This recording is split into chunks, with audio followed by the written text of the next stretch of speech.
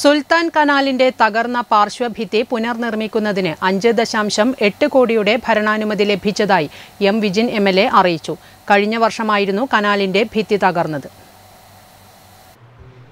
രണ്ടായിരത്തി ഇരുപത്തിരണ്ട് മെയ് പതിനെട്ടിനായിരുന്നു സുൽത്താൻ കനാലിന്റെ സംരക്ഷണ ഭിത്തി തകർന്നത്. ചൈനക്ലി തോടിനടുത്തായി പൈലാൻ സ്ലാബ് പാർശ്വഭിത്തി കനാലിലേക്ക് ഇടിഞ്ഞു താഴ്ന്നതിനാൽ സമീപത്തുള്ള വീടുകളും ബണ്ട് റോഡും ഇടിഞ്ഞ് സംരക്ഷണ ഭിത്തി തകർന്ന നിലയിലായിരുന്നു. ഒരു വർഷമായിട്ടും തകർന്ന ഭാഗം പുനർനിർമ്മിക്കാത്തതിൽ ജനങ്ങൾ ഏറെ ആശങ്കാകുലരായിരുന്നു. ഇരുപത് കൊല്ലം മുമ്പ് നിർമ്മിച്ച പൈലൻസ് ലാബ് പലയിടങ്ങളിലും ഇളകിയ നിലയിലാണ്. ഇതിന്റെ അടിസ്ഥാനത്തിൽ ഉന്നത ഉദ്യോഗസ്ഥരോടൊപ്പം പ്രസ്തുത സ്ഥലം സന്ദർശിക്കുകയും തകർന്ന പാർശ്വഭിത്തി പുനർനിർമ്മിക്കുന്നതിന് നടപടി സ്വീകരിക്കണമെന്നാവശ്യപ്പെട്ട് നിയമസഭയിൽ M. Vijin M. L. A submission അവതരിപ്പിക്കുകയും ചെയ്തിരുന്നു. സുൽത്താൻ കനാലിന്റെ പാർശ്വഭിത്തി തകർന്നതുമായി ബന്ധപ്പെട്ട്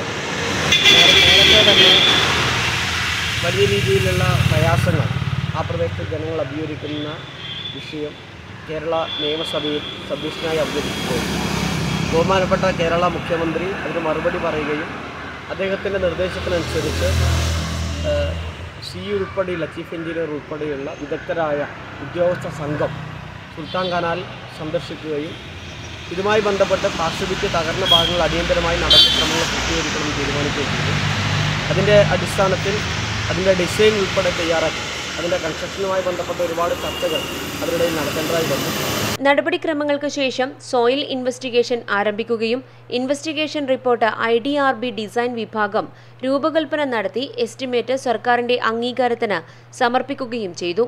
സംസ്ഥാന സർക്കാർ അഞ്ച് ദശാംശം എട്ട് കോടി രൂപയുടെ ഭരണാനുമതി നൽകിയത് ഇതിന്റെ അടിസ്ഥാനത്തിലായിരുന്നു.